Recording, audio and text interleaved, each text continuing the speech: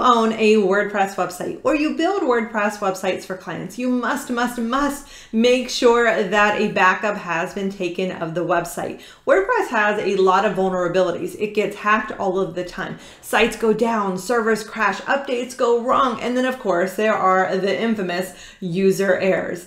So this is why it is very, very important to make sure that you have a fresh backup of the website. That way, in the event anything happens, you can quickly restore the website within a matter of minutes, not hours or days, resulting in a loss of traffic, revenue, or even the site's reputation. That's why today I'm gonna show you how to take a complete backup of the WordPress files database, plugins, and themes. I'm going to show you how to schedule these backups so that they happen automatically without you having to go in and do a thing. And I'm also going to walk you through how to quickly restore your website within minutes. Even if you have never done any of this before, you'll really be able to do all of this within a matter of minutes. And to do all of this, we are going to be using the free WordPress Updraft Plus plugin. And there are several of these backup plugins available, but I have chosen to specifically use this one because it has been tested on over 3 million websites.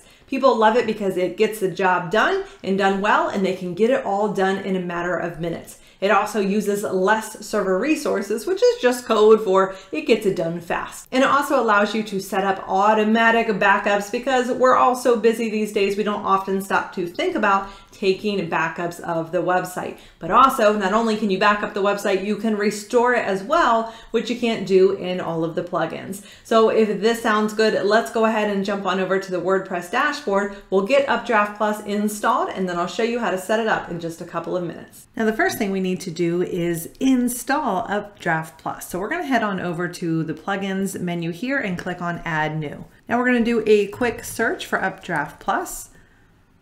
We will click on install now. And once it has been successfully installed, we will activate the plugin. And now that it has been activated, we can simply scroll down here to Updraft Plus and we can select settings. And this is where we will go to the dashboard. Now, if you want to access this later on, you can come over here to the settings menu and simply click on Updraft Plus backups. So here we are on the Updraft Plus backup dashboard. Now, what we're gonna be doing is walking through these tabs right here, just so you know where everything is, what you need to do, and have you up and running here in just the next couple of minutes. Now, if you want to just take a super quick, simple backup without touching anything else, you can actually just go right here to this big blue backup now button. This is just going to take a simple backup and send it right over to your server. Now that is not ideal. We don't want to store our backups on our server just in case there's ever an issue with our host or there's any server issues that our backups don't get lost there. So it's definitely best to use a remote storage destination. We'll talk about that here and we'll look at some options in just a moment. So since we want to set this up properly, make sure that our backups are never going to be at risk, what we'll do is we're going to leave this screen alone here for just a minute. We're going to come over to the migrate slash clone tab here. Now, some of these are premium features to clone your website. For instance, they have updraft clone here. So if you don't want to test things, if you're making changes, let's say to your live site, you don't want to actually test those on your live site, you can simply clone your website and then test the changes there before making those changes go live. So that is a really helpful feature of their premium version here. And then down here, this is going to let you migrate a website. So let's say you want to duplicate a site and then put it over on another domain. This is going to let you do that with their migrator tool. But again, these are some of the premium options. So what we're gonna do is just skip on over this to our settings tab. And this is where we actually set the backups. Now this is really important because this is where we're going to automate the backups so that way we make sure that they happen. So what we're gonna do is we want to make sure that we are backing up both the website files and the databases. Those aren't gonna work one without the other. So what we wanna do here is we wanna go over and select how often do we want the backups to be taken? Now, this really depends on how often you update your website. If you have a website, let's say it is a news website and it's constantly being updated, well, then maybe you want to do a backup every two hours. But remember, you have to store these backups or you have to go in and then delete the ones that you don't need. So if you only update your website once a week and you only have one new post a week, well, then you don't need to do do that every two hours. It's gonna be a lot for you to store. So it really depends on how often you're updating your website. In this case, we are going to select weekly. Now it's asking how many backups do we want to retain? So if let's say we have two backups and then now we're adding another one, well then they can go ahead and get rid of the oldest one here. And we're gonna do the same schedule here for our database backup. So now that we have done that, we're gonna scroll down here to the next part, which is to choose our remote storage destination. So when a backup is taken, where do we want it to be automatically stored? So you can use Updraft Plus, for instance. They have their own storage that you can pay extra for. They have Microsoft OneDrive, Dropbox, Amazon S3. Now, some of these are going to be premium features as well. So for instance, if you want your backup sent to Microsoft OneDrive, you're going to notice here it's going to tell you that this is an add-on. And so you can either pay for the premium version or just follow this link to get that add-on. But in this case, we can use Dropbox, Amazon S3, Google Drive, any of these for free here. So what we're going to do is we're going to use Amazon S3. Now notice when you click that, it is going to create a drop down here where we actually have to insert our account information. So since I'm using Amazon S3, we need the access key and secret key, and it is asking me for a location. So I have to come up with a location. So I'm going to call this the site name with backups here. And then we'll switch over to the Amazon account. We will grab the access ID. We will pop that in here and we'll grab the secret access key. We'll pop that in there and now we can test the settings to make sure it actually works. We wanna make sure that that connection is there. So here we have it, S3 settings test result is a success. We access the bucket and we're able to create files within it. The communication with Amazon S3 was encrypted. So we're good to go. So now if we go on down to the next section here, Updraft is asking us what they should actually include and exclude from the backups. And so here we want to make sure that we are including plugins, themes, and anything that has been uploaded in the backup. Now this is also showing us what we can exclude. So if there's been any backups, for instance, that are being stored there on the server, we don't want those backups backed up. so now we can add an exclusion rule here as well. So if there's other files or directories that you don't want to be included in that backup for whatever reason, let's say there's something you're just storing there, but you don't really need, it's not essential essential to your website, then you can exclude it. It'll just keep the size of your backup much smaller.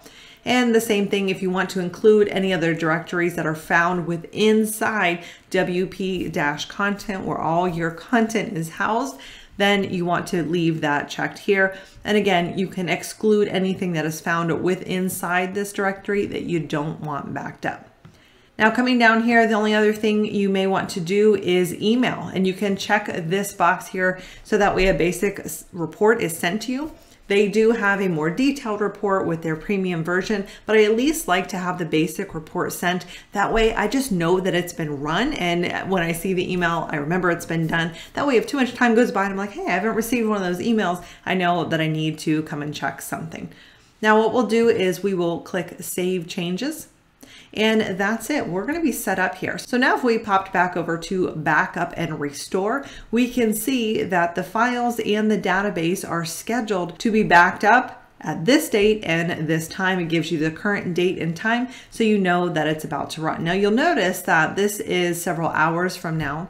And the reason is when you are using the free version, it's going to pick the time. So you can give them the interval in the settings here. You can just say, hey, I want to do this once a week, but they will pick the time. If you want to say, I want it done right now, or I want to schedule this for six o'clock in the morning or six o'clock at night or 7.02, whatever time you specifically want, that's going to be be a premium version. But otherwise, they'll just pick the time. And I know that here in the next four hours, this is going to automatically run for me. So if you have done just this, then you're good to go. You can stop right here. I do want to show you though a couple of other things just so you are aware of everything within this plugin. Now under advanced tools, notice how here it says, unless you have a problem, you can and completely ignore everything here. And so that's usually advisable is just to leave this section alone.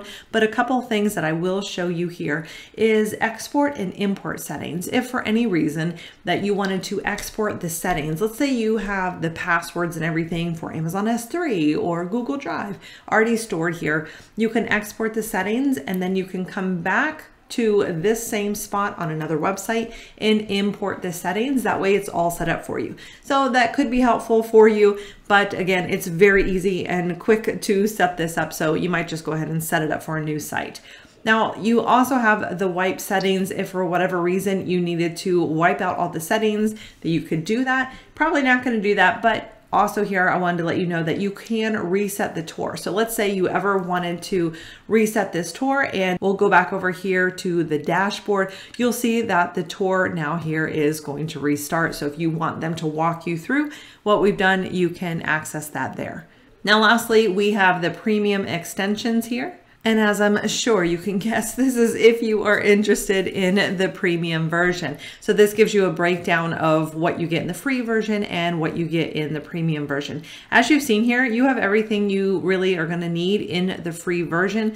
The premium version definitely does have some benefits to it. So it really just depends on, again, what your needs are here. So one of the things that will allow you to do is set the time to be able to do the backup that we looked at, but it also allows you to only backup changes to your files that has been made since the last backup. Now, think about that. It's not taking a full backup of your entire website files and all of the databases, everything involved. It's literally, if you have just made a change by uploading an image, it's only going to back up that image. So that's going to make your backups much faster and much easier for you there. So that is one of the biggest benefits. Now, you ought to be able to automatically take a backup of a site before any updates to plugins, themes, or even the WordPress core. So whenever these updates happen, this can really cause changes in your website. So if you ever need to be able to restore your website to pre-update, that is automatically going to make sure that you have a backup before any of those updates automatically run.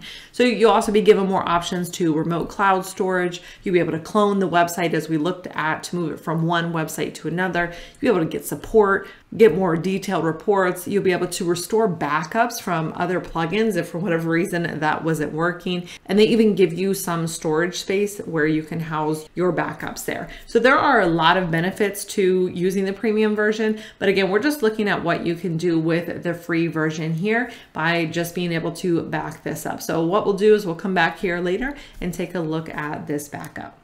All right, it has now been a few hours and our backup has run for us. So we can see here in the last log message, the backup succeeded and was completed and we have the date and time right here. And we also can see now in the existing backup section, the files right here. As you can see, we have the database, plugins, themes, uploads, others, all right here. And as you can see up here under files and database, since we earlier under settings, asked them to automatically run a backup schedule for us every single week. We now can see seven days later that we have a scheduled backup to run. So once this runs in a week, we will see that second backup appear down here in this list. So now in the event that you ever need to restore your website, I want you to see how easy it is. Now you have two options. One, you can restore this using the Updraft Plus plugin, or you can restore this manually. Now, if you can, you just want to restore it using the plugin because, well, that's going to be quick and easy for you to do. But there may be the case where you cannot actually access this dashboard here, and so that's going to be hard for you to do, and you're going to need to do it manually. But let's take a look at how this is done. So let's say we do need to restore the website. What we're going to do is we're going to head over here to the restore button. Now, as a quick note, you can click click on any of these and it will just download that part of the backup for you. But actually what I wanna do here real quick, knowing that the backup is done, is I wanna jump over to my remote cloud storage and I wanna make sure the files are there. So I do see that all of the files have been created, all the backups are here, so I can feel confident that they are at least there. So now what I wanna do is I wanna head over and I wanna click on restore. So the first step here is it's gonna ask me to choose the components that I want to restore. And I wanna go ahead and restore all of these and we'll click next. It's gonna retrieve if it needs to and prepare the backup files to go ahead and restore the website. Now that the files have been prepared, it gives us a confirmation here, letting us know the backup archive files have been successfully processed, and we can go ahead and press restore again to proceed. If Updraft Plus finds any errors or any issues going on, it's going to list those right here so those can be taken care of. Otherwise, if you receive a success message like this, you will simply go ahead and click restore and it will restore your files for you.